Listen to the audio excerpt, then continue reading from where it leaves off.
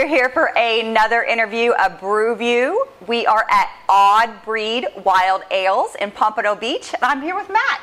Hey, how are you? Good, Matt. Thank you so much for having us. Absolutely. So, Matt, tell us, what got you started with beer?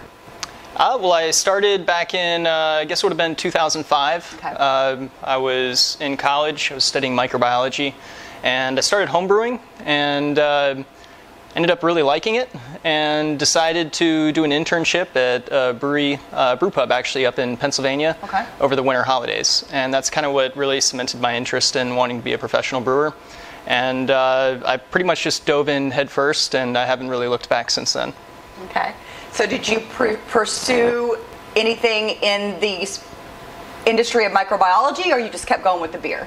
So I actually uh, was originally a health science major Okay. in school, and I changed my major to microbiology halfway through my freshman semester. Okay. Uh, first freshman semester, just because I, I thought, why not? Uh, you know, beer sounds cool. This, at this time, there weren't really many breweries, uh, craft breweries, at least on the on the east coast of the U.S. Mm-hmm. Um, you know, I was aware of the the microbrewery scene out in California, um, but I was living in South Carolina. I was going to Clemson University. At that time, we had a cap on the alcohol limit in beer. Uh, Okay. It was 5% alcohol by weight. South Carolina is one of the last states in the country to still uh, set their alcohol regulations based on alcohol by weight.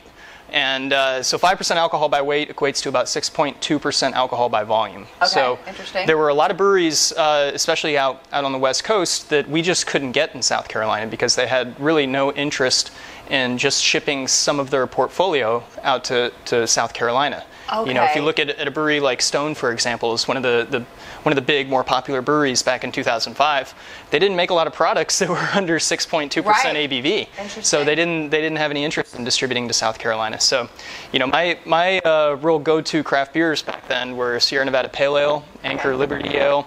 um, Sam Adams Boston Lager. You know, those were really about the, the most exciting beers that I could get back then. Yeah. So the just the, the concept of being able to homebrew, and uh, even though I wasn't 21 yet, uh, you know, I, I found found some ways around that. I had I had uh, friends, you know, that would help me with purchasing ingredients and all that, uh, as long as they could drink the beer, of course.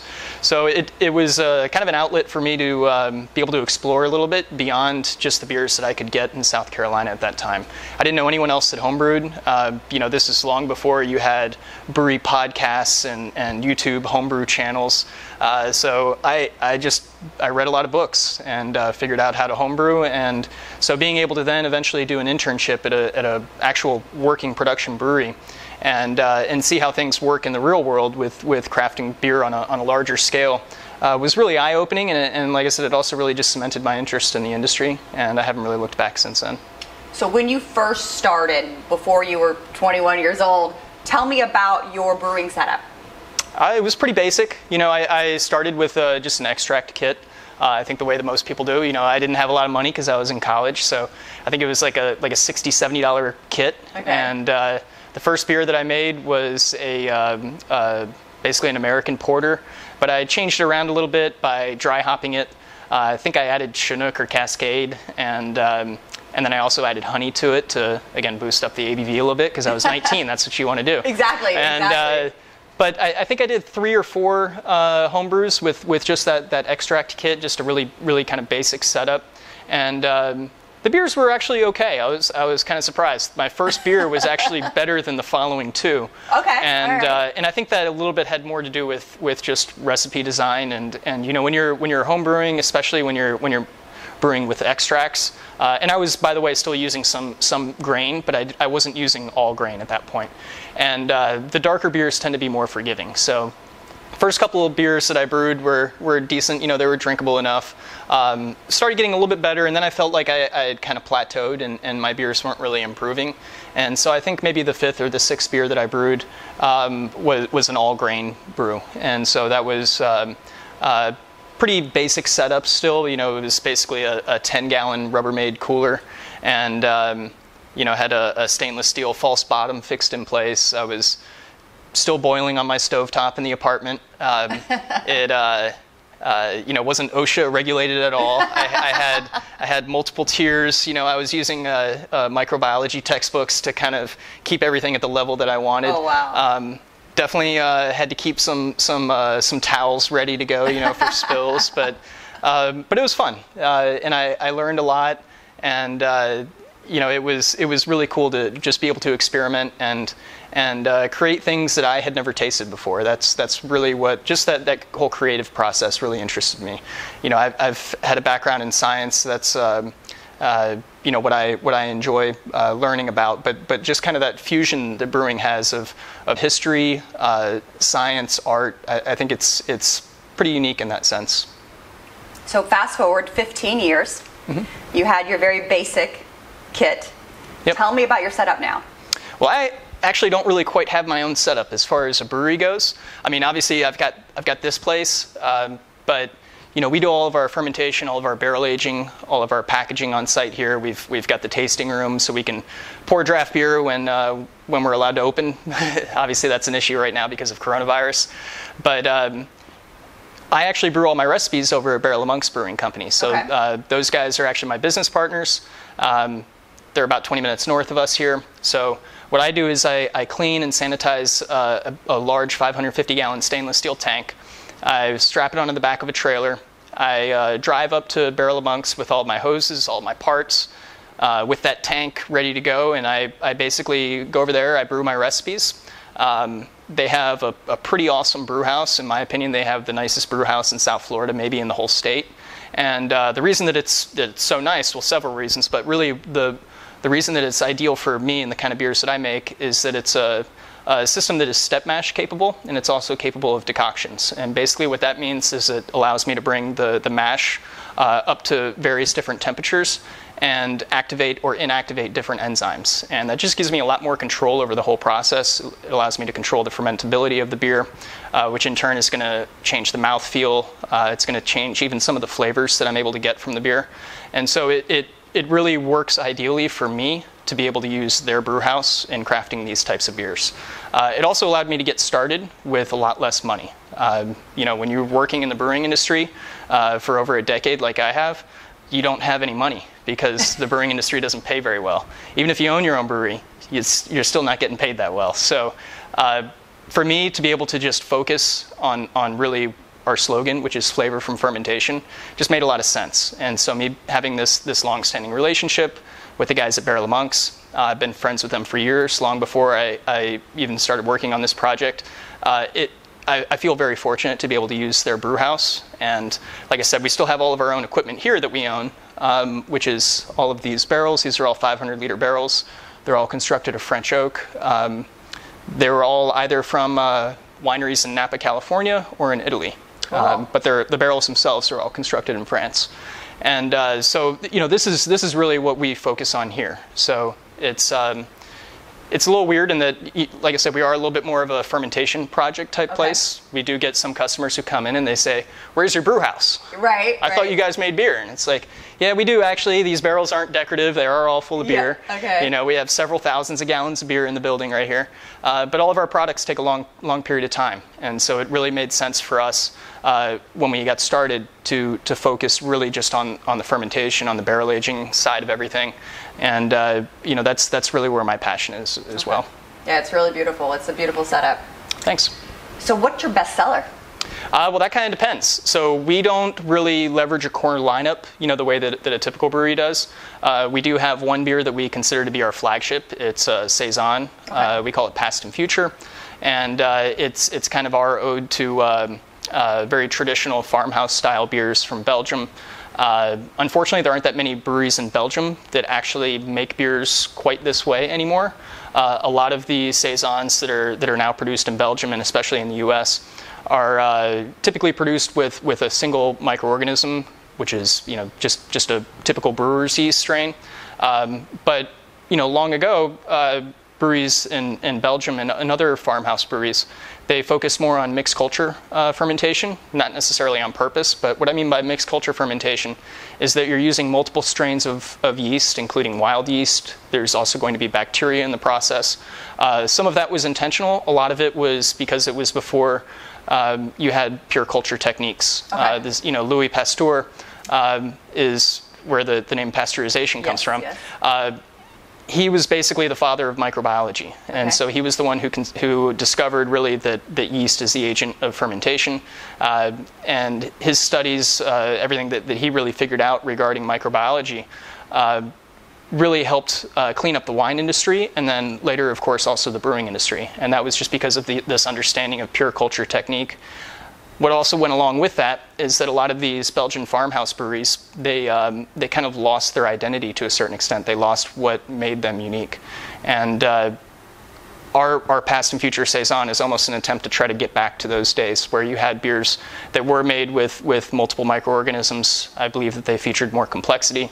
Um, our, our beer, past and future saison, is brewed like a like a Belgian saison, more or less. It's five percent alcohol by volume, so it's it's not a heavy beer. It's not meant to be overly alcoholic. Exactly, it's meant to be thirst quenching, drinkable, refreshing. It's highly carbonated. It's very dry. Uh, it does have some acidity, which I think makes it more thirst quenching, but it's also bottle conditioned, like all of our beers are. Uh, with our mixed culture of wild yeast and bacteria, it has a very good shelf life. But um, again, that's that's what we consider to be kind of our, our flagship. But yet, we've only released three batches of it yet. Okay. You know, so and we've been in business now for uh, for almost three years. So Okay. that's that's the only beer that we've released three batches of. Um, everything else we've re- released either as a as a one-off. Um, or we've released two batches, and that's it. We, I believe, last year we made something like sixty-something different beers. Wow. Um, in total, since we've been open, we've produced like 130 different beers. Wow. So it's um, we're, we're constantly, you know, kind of changing things up. There are certain base recipes that I brew. So when I go to brew at Barrel of Monks, you know, I, I brew 550 gallon batch. It's Okay. a it's a large batch. It's about 18 and a half barrels. Um, that's larger than most of the breweries in South Florida. Yeah. Um, but we can take that one batch. I'll fill up four of these large barrels. These are 132 gallons each. And then I'll also typically fill up one of these uh, standard size wine barrels. And uh, from those, those different barrels, I can create different blends. I can uh, re ferment beers with fruit. Uh, I only use fresh fruit. I don't use any concentrates or purees or extracts. That's one of the things that I think makes us unique. Uh, if I'm going to age a beer in barrels for one, two, or three years, I don't want to use uh, a product like aseptic puree. That's, Okay. that's essentially like a, like a dumbed down version of fruit. I want to Okay. use fresh fruit where I can get that full flavor out of it. So by, by having multiple barrels to blend with, I've got uh, mul- multiple uh, stainless tanks as well that I can use to add fruit in, or I can add dry hops, I can add different spices or herbs. I don't do a whole lot of that, but it's something that I've been experimenting with a little bit more. So, you know, the, just just uh, really the creative side of this is, is really what kind of gets me excited. And uh, by having multiple different vessels to work with, it allows me to, to create a, a lot of different products from just one different beer. Okay. What is your favorite beer to make or to drink? Ooh, that's tough. Um, I've I've really been enjoying a lot of our uh, lambic inspired beers. Okay. Um, so I, I don't call our beers lambic. Um, I've been kind of struggling with exactly what I should call them. What is lambic? So lambic is uh, a type of spontaneous beer fermented in a uh, produced in a certain part of Belgium. Uh, it has to be within a, a certain um, uh, geographic area, and I, I don't remember exactly what it is, but it has to be within a certain part of Belgium that's near the Senne River Valley, which is basically smack dab in the middle of the country. And uh, because it's a spontaneous beer, it, it uh, is influenced by the microbes that are in the air, and uh, it can only be produced certain months out of the year as well. It, it's uh, basically beer's version of terroir. Uh, you know, it's, you're not going to be able to produce that type of beer that tastes like Belgian lambic outside of that certain particular region of Belgium. Okay. And you can get somewhat close, you can approximate some of the flavors, um, but it, it's a protected appellation just, just as champagne is. Okay, I Uh, understand. So a lot of the techniques that we borrow are, are you know, techniques that began in the in the lambic industry. Um, lambic has been produced for, depending on who you talk to, there's, this is actually pretty heavily disputed now, but it, Oh. lambic has been dis- been produced for around 200 years, and uh, it's considered to be the oldest type of beer that's still being made today, and. Uh, it, it just it, it, it has a certain complexity to it, a certain depth that I, I just don't think exists in other styles. Uh, the production process is very labor intensive. Okay. Uh, to give you an idea, when we brew a, a normal batch of beer, uh, that's not one of our lambic inspired beers. It's basically about a 12 to 14 hour uh, workday for me. Wow. Um, it's already a very long day. Right, When I produce uh, one of our lambic inspired beers, it's basically an 18 to 20 hour day. Oh so uh, I'm exhausted. You know, it's Right. just, it's a very intensive process. Uh, you know, I have to wake up really early. I get all my equipment ready to go, drive up to Barrel of Monks. Wow. They actually already get some of the uh, the stuff ready to go for me, just so that my day isn't 24 hours long. Okay. And uh, but it's it's a it's a labor of love. You know, there's there's just there's a lot of work that goes into it. Um, the beer takes a very long time to to then age uh, and and properly you know finish fermentation as well. Um, so it's it's not a, a, quick process at all. We haven't done a, a, lot of batches of our lambic inspired beer yet. I think we're up to six or seven now. Um, but I've been very um, uh, surprised, pleasantly surprised by the results that we've had thus far, mm-hmm. and it's uh, they've been good enough to to make me say, okay, yeah, it's worth all this work. Yeah. And uh, you know, I, I, think that there are a lot of brewers that that would argue with me that oh, you know, it's not worth all, the, all this the effort time. or this time that you're putting in. I know that there are some other breweries that exist within our niche that make barrel aged wild ales. Okay. And they do much shortened versions of this process. And I while those beers are good, I still feel like they're they're missing just a little bit of something, and I, I feel like uh, the process of, of uh, lambic production, specifically what's called a, a turbid mash, um, it's very energy intensive. It requires multiple steps. Um, it's the only beer that I brew that I print out about three pages of instructions because okay. it's it's actually that detailed of a process. Okay. okay. And uh, maybe I won't need to do that once I, I brew a dozen more of these batches. But um, you know, most most beer is produced pretty similarly in the brew house. Okay. Uh, these lambic inspired beers are produced with a very different process. It relies on this specialized equipment which Barrel of Monks has. Okay. And uh, it, like I said, it just it produces a unique product that I don't think can be replicated with other methods. And so, uh, it's also the beers that I produce that age for the longest period of time in barrels. So we're, we're talking about anywhere from one to three years. Okay. And after that, the beers are blended. Then they need to go into a bottle or a keg, and then they're naturally conditioned for anywhere from about four to eight months. So it's it's a very long process to make one of these beers. You know. What's the longest one that's been in here? Uh, so we had a uh, barley wine um, that we had on draft, and that had been in barrels uh, just a little over three years. Wow! And uh, I did that beer on draft only, uh, in part because it was just it was a smaller size barrel, okay. and I didn't have a lot of volume of it. I also lost a lot of volume from angel share, yes. and so angel share is just the, the evaporation that you get out of the barrel as, as the liquid is aging. And so uh, the beer was was very full bodied, very viscous. It is a wild barley wine, so it okay. still has the inclusion of our, our mixed culture wild yeast and bacteria. It had a little bit of acidity to kind of cut through some of that sweetness. But uh, overall, just the, the complexity, the depth of that kind of beer was, was off the charts. Uh, wow. People really liked it. Okay. Do you partner with any restaurants or food trucks to bring in food to the brew room when people can come in here and drink? Sure. So we, we have. Um, you know, we uh, it, it kind of depends on the day of the week. Um, on days when we know that we're going to be more busy, uh, when we have a bottle release, for example, or if we uh, we used to do bottle shares here monthly. Okay. And so uh, when we did that, we would we would typically have a food truck come in. Um, we've also uh, worked with a couple of our friends um, and and had them you know cater some food for us, okay. things like that. But, uh, but yeah, we, we do have some connections in the restaurant industry. Um, we're, we're working on, uh, whenever COVID ends, um, we are sending more beer out into distribution locally. Okay. Uh, we have been sending beer out to distribution a good bit uh, throughout the states okay. and then also internationally. All right, tell me more about that. How, how are you distributing? Are you bottling it, sending it out? Yep. Yeah. So we have another warehouse uh, that's about three miles from here, okay. and we use that warehouse uh, almost exclusively just for aging our bottles. So uh, once we, we package our beer into bottles and kegs, it's then naturally conditioned, which means that we're not forced carbing it. We're not adding CO2 into the okay. product the way that typical breweries do.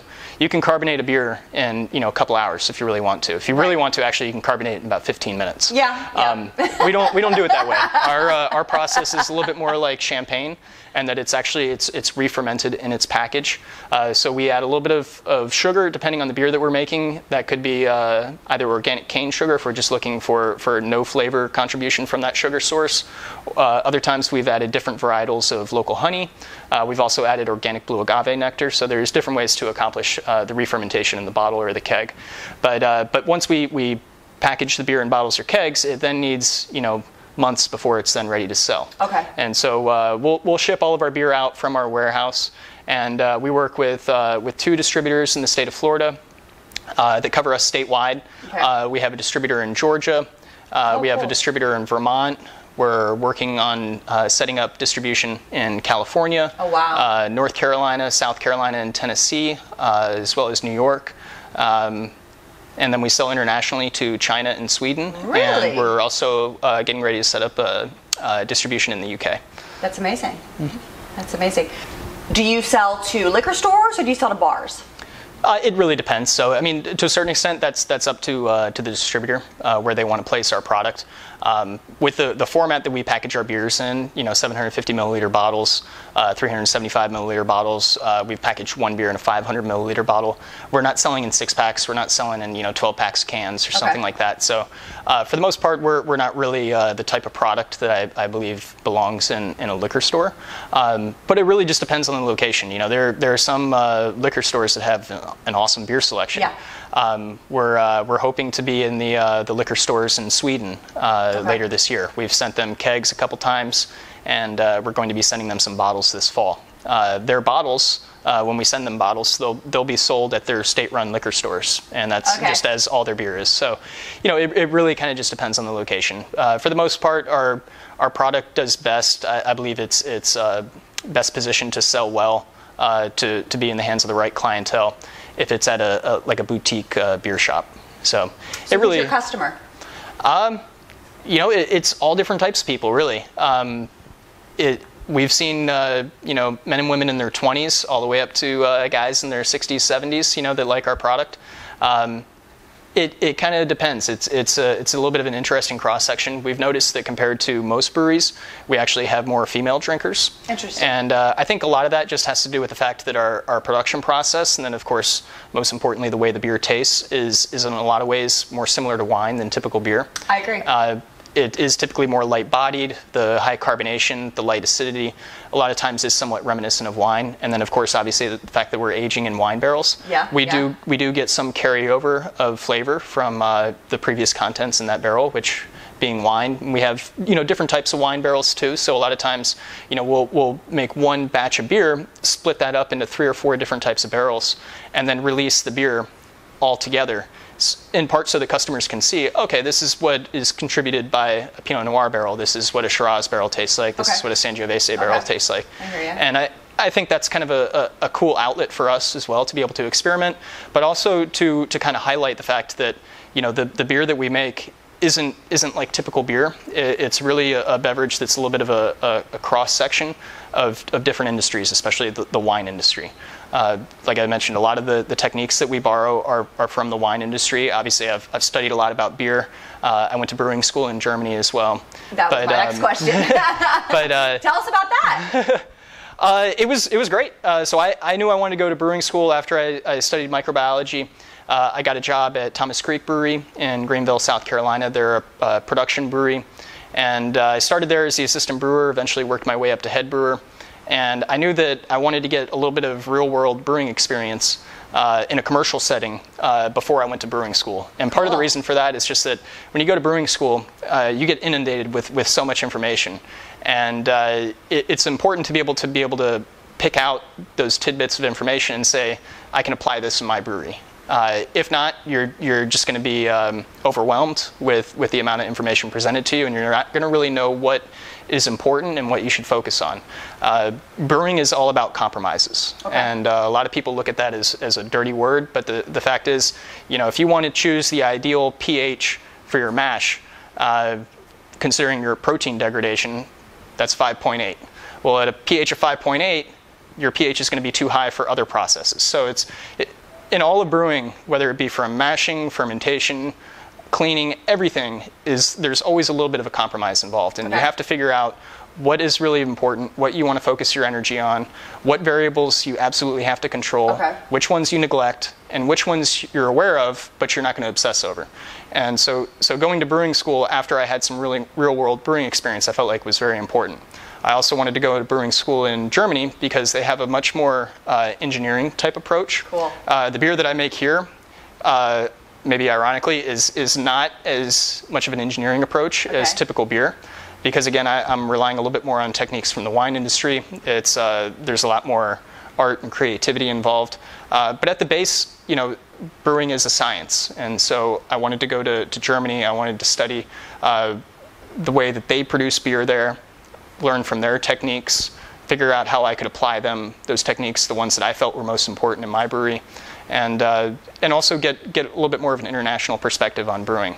Uh, you know, working at a brewery in the U.S. is great, Right. But at the same time, the the time that you spend around people is uh, is going to you know their their ideals, their processes, their techniques are going to rub off on you, but you may not be aware of the way that everything everybody else around the world is producing their beer, the way that they um, you know get inspiration, what they think is important. And so I really wanted to be able to get that kind of international perspective, and that's something that I was able to get in, in Germany. I lived there for seven months in Berlin, Okay. and uh, studied brewing and malting science. Um, actually studied a lot of malting science, which I, I wasn't previously all that familiar with. If I weren't getting into brewing, I think I probably would have wanted to get into malting. It's uh, it's a it's a very cool uh, industry as well. I think there's I think it's overlooked by most brewers. And I think having a better understanding of the ingredients that you're working with is very important. And uh, that's, that's something that's, that's definitely overlooked by a lot of brewers that simply open up a catalog or go online and say, okay, I'm going to order some of this grain, I'm going to order some of this hop. I like this hop because it tastes like grapefruit. You know, and, and that's, there's not necessarily anything wrong with that, but you know, if you understand a little bit more about about your ingredients, about your process, about why you're doing something a certain way, you can better coax out the flavors that you want. You're going to end up with better results. Great, great. Do you speak German? No, not enough. uh, So how did that work? I knew how to order a beer. Um, Okay. I knew how to ask where the bathroom was. Um, I, I could I could understand enough to try to get around, um, but it, you know, I was I was fortunate in that it was an international university. Okay. Uh, so it was. I went to VLB, Versuchung Lehranstalt für Brauerei in Berlin, which means Okay. Research and Teaching Institute for Brewers in Berlin. It's part of uh, TU Berlin, the Technical University of Berlin, and so it, it's basically um, held exactly on the you know the same campus. It's the same professors that are at uh, TU Berlin that are teaching all the brewing courses. So it, it's a, it's an accredited institution. Um, they have great facilities, uh, really cool labs. You know, we had a, a state of the art pilot facility. Um, it was fully automated. You know, it was it, it was really cool being over there and being able to see. Okay, this is how you, you produce beer in Europe because they have a completely different process Okay. and different mindset than we have in the U.S. In the U.S., breweries are built uh, with this mindset of what you want to do next year. And Okay. in Germany, especially, breweries are built with a mindset of what are we going to do 20 years from now? What are we going to do 50 years from now?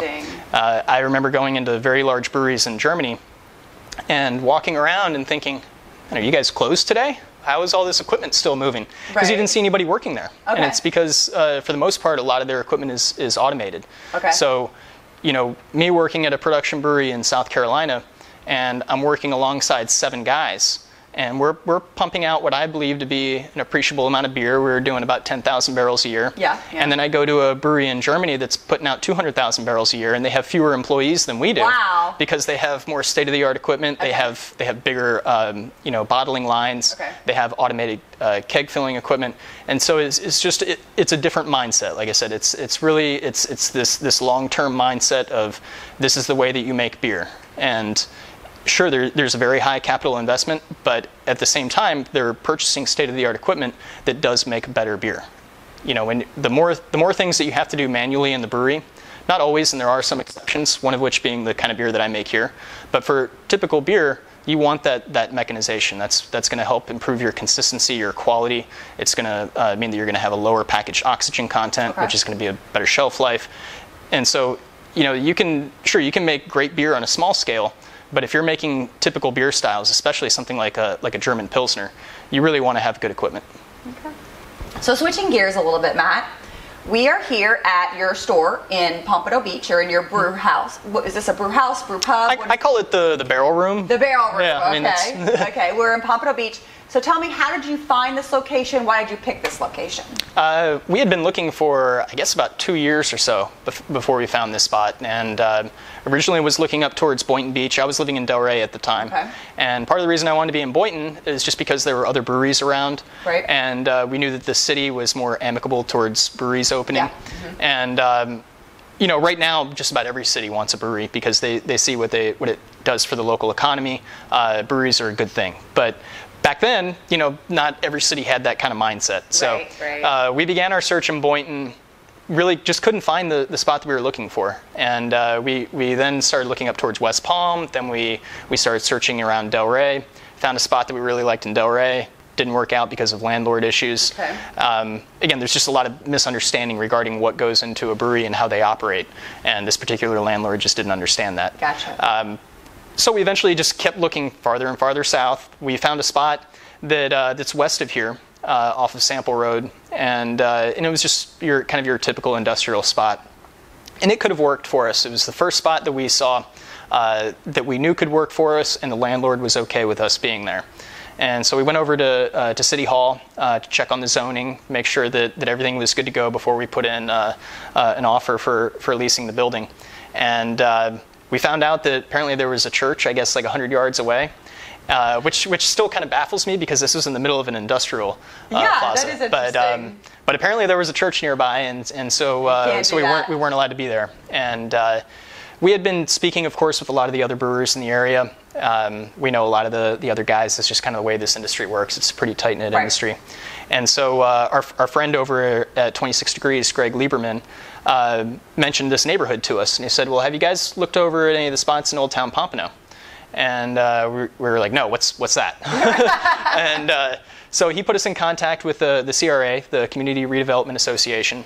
And uh, I think it was like the following day, we, uh, we toured uh, this neighborhood. And uh, I think this was the second or third spot that they showed us. And within like, like 15, 20 seconds, I was like, yeah, this, this, This place could it. work. And uh, What's the you know, square our- footage? so we're, we're at 2,500 square feet in here, uh, not very big. Um, like I mentioned, we do have another warehouse. It's about 1,700 square feet. And uh, the combination of the two spots gets us up to um, the square footage that we need. But um, the reason that we really liked this building and the reason that it was so hard for us to find the right kind of spot is that, for one, we needed a place that had really good insulation. Uh, we needed a place that had good air conditioning. Uh, we have solid AC in place here. We keep uh, this building at 72 degrees year round. And that's really for, for the barrels. Sure, Uh, sure. We need to have a certain humidity level. Uh, I don't want to have large temperature fluctuations, and I want the temperature to be low enough uh, to be good for the for the long-term aging with the yeast and the bacteria.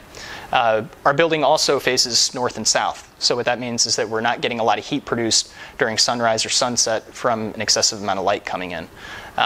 So all of those things combined were, were hard for us to find, and then Okay. especially trying to find all those things in a place that was industrial, industrially zoned, um, that had adequate parking, that had a landlord that wanted us there. Right. And so, uh, you know, when we found this spot, um, you know, no spot is perfect, but this was as perfect as we felt like we were going to find. And uh, after two years of looking and finally finding a place years. of looking, you know, and, and finding a, a spot that we were like, okay, we could actually make beer here. Um, it, it was it was nice. it was nice to be able to feel like we had we had finally gotten to where we could get to that next step in the process. Wow, two years. Do you have generators in case the power goes out? I wish that we did. Uh, that's that's going to be the next big purchase. Yeah. Yeah. This this time of year, uh, hurricane season always has me a little little anxious. Um, you know, last year we, we thought that we were going to get hit. Uh, Fortunately, we didn't. We didn't even lose Mm-hmm. power. But I was I was counting on us losing power. Uh, I guess about a week before the storm hit. So I was slowly moving our AC down. I think uh, by the time we closed everything up, boarded up everything, uh, I had it down to like 65 degrees in here. And uh, and part of that was because I anticipated us losing power and the temperature climbing. So I got insulation panels that I put over all the windows. Okay. Um, I taped the doors shut. You know, Wow. trying to trying to keep out every little bit of draft that could come in. And uh, you know, fortunately, one of the things that we have in here that helps our AC system not have to work so hard is all these barrels filled with beer creates a lot of thermal mass, and so that makes it somewhat um, uh, resilient and, and less subjective to extreme temperatures. Um, of course, the temperature will still go up, but you know. If, if we lose power in here for a day and the temperature gets up to 80, my barrels aren't going to go from 72 to 80 in a day. Okay. They're going to go from 72 to maybe 72 and a half or 73. okay. Uh, you know, th- these are, are thick staves on the barrels. Um, there's a lot of volume inside of there, so it that fortunately resists some of that temperature change. But, but yeah, hurricanes and uh, losing power are probably my biggest fear. Yeah. I believe it, I'm sure. So you've touched on it a little bit, talking about how you use the wild yeast and everything. So explain to me, when it, how did you come up with your name, Odd Breed Wild Ales? Sure. So, um, I mean, the kind of beer that we make is a little bit of an odd breed in the, Right, the beer right. world. Um, you know, most breweries are not making beer like this. Your, your typical brewery, uh, somebody like Heineken, for example, massive brewery, They have brewery locations all around the world. They want their beer to taste like Heineken at every one of those locations. Um, that's admirable. It's, uh, it's an astonishing feat that they're able to accomplish that. And, uh, but that's not what we're going for. You know, they're, they're using one strain of, of yeast that's purchased from a, a commercial lab. Well, in their case, they probably house their own yeast strain. But Okay. the majority of, of breweries, especially microbreweries around the world, they purchase their yeast strain from, from a lab. Anyone has the ability to purchase it. It's not theirs, it's not really unique. And that's all for the goal of being able to produce your beer cleanly, um, uh, efficiently, but also consistently. And you want to be able to take that beer, and if, for example, you wanted to open a brewery in another location, you want to be able to take that recipe and, make it taste exactly the same. And that's what somebody like Heineken does. Right. Um, we've really decided to go the complete opposite route, and that our beer is made here. If I opened a brewery somewhere else, it's not going to taste exactly the same. Uh, because I feel like I have a good enough control over our process, I can make it taste pretty similar, but it's never going to taste exactly the same. And if somebody else opens a brewery and they say, "Eh, "I want to, ta- I want to make beers that taste just like Odd Breed," uh, my advice to them would be good luck. They're not going to be able to make it happen. And really, the big part of the reason for that is that we have our own unique mixed culture of wild yeast and bacteria. Uh, there's at least 30 some odd organisms in the beer. Uh, it's not stuff that's just purchased from a lab. It's, uh, it's stuff that I've been cultivating, that I've uh, kind of witnessed evolve and mutate over a period of, I guess, about seven years now. And so if somebody, you know, wanted to, to purchase, you know, those 30 yeast strains from a lab, uh, mix them together and, you know, try to make something similar to what we have, they're not going to be able to do it. Maybe they can do it in seven years after they, they get those strains to evolve and mutate. Uh, but really, it's just not going to happen the same way. We put selective pressure on our yeast and bacteria. We're harvesting our, our mixed culture from, from barrels from beers that, we, that we're happy with. So I like to think that every time we produce a beer, that next beer is going to be even better. Right. And part of the reason is, again, just because we're teaching our, our yeast and bacteria what we want it to do. If, it, if we have a batch that doesn't turn out exactly how we want it to, then we're not going to reuse the, the yeast and bacteria from that, that Okay. barrel. Gotcha. Uh, we'll, we'll start over again. And so in the brewing world, we're kind of an odd breed in that sense, in that we're, we're not really going the, the path. We're not, we're not focusing exactly our efforts the same way as typical brewery. I get it. And, uh, and that's, I guess, what makes us a little different. Interesting. How can we find you? Uh, so, I mean, obviously, we're selling beer here at the tap room uh, right now to go only. Um, we sell our beer online, also on our website, but because of Florida state law, we are not allowed to ship beer. Okay. Uh, we have to ship beer through a distributor. We can't ship directly to a consumer. Uh, that's one of the very unfortunate things regarding the laws in our state. Um, in my opinion, it really doesn't make any sense because I can order beers from Colorado and I can get them shipped to my doorstep. But I can't ship my own beer to customers in Florida or to customers in Colorado or other states. So, really, the way to get our beer right now, uh, aside from our tap room, is going to be some of the um, uh, boutique beer, st- beer stores around the state that have us. Uh, right now, because of COVID, uh, it's going to be harder to find our beer. I, I hope that that changes soon. But you know, like I said, we're also statewide in Georgia.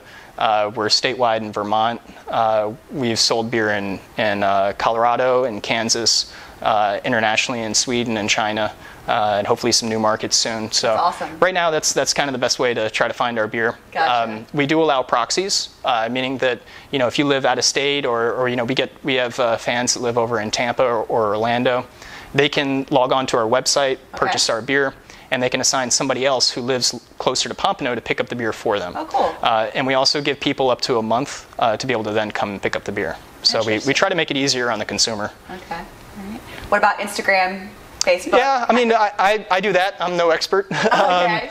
but, uh, but yeah, we, we do Facebook and Instagram. Uh, we don't do Twitter. I don't think a lot of breweries do Twitter. Yeah, but, I don't um, do Twitter either. Yeah. and then we have some information on our website as well. Okay. So, any final comments for us today, Matt? Uh, no, I guess the uh, main thing I would say is, uh, especially with everything going on in the world right now, uh, support local businesses. Um, you know, there are a lot of breweries that are really struggling right now. We've we've uh, decided to kind of change and ad- adapt our, our business model to the current conditions, and that is uh, trying to focus on sending beer to places that have uh, the coronavirus situation better under control. And so that's one of the reasons why we're, we're opening all these new international markets right now. awesome. But uh, we're fortunate in that our beer ages very well. You know, we have a very long shelf life. Our bottles will last for at least five years. Uh, most breweries don't have that luxury. They have to Right. sell their beer quickly. So I feel like we're better positioned than a lot of other breweries are. And, uh, and I'm confident that we'll weather the storm, but a lot of breweries won't. And especially breweries that are smaller, breweries that don't have a lot of uh, distribution, that rely on on site sales, uh, it's going to be tough for them to continue. So I would say, uh, just my advice for consumers if you, if you love a local business, a small local independent business, uh, support them, especially right now. Absolutely. Well, thank you so much for your time, Matt. We appreciate it. Everybody, Absolutely. come get your to-go beer from Odd Breed in Pompano Beach, and once we're back open, come to the tasting room.